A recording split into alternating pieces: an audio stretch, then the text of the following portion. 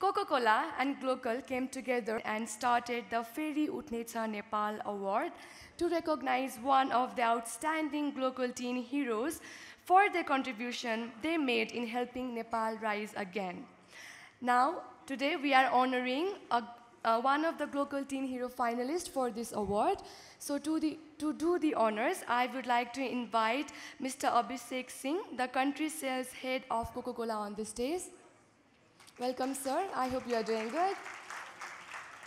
Uh, joining him, we have Mr. Ashish Thakur, the Executive Director of Glocal Private Limited. Welcome, sir. Please put your hands together for him. So, the Pheri Uthne Cha Nepal Award goes to none other than Mr. Bikram Parajuli from Pokhara.